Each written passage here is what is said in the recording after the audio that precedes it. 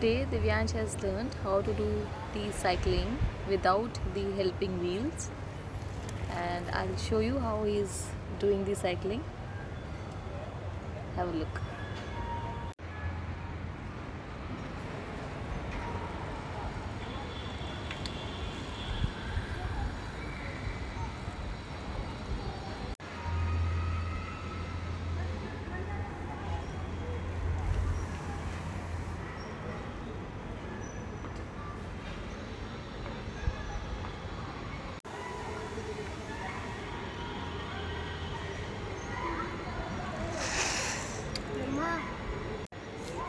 बात क्या नहीं है Yes, tell me Divyansh.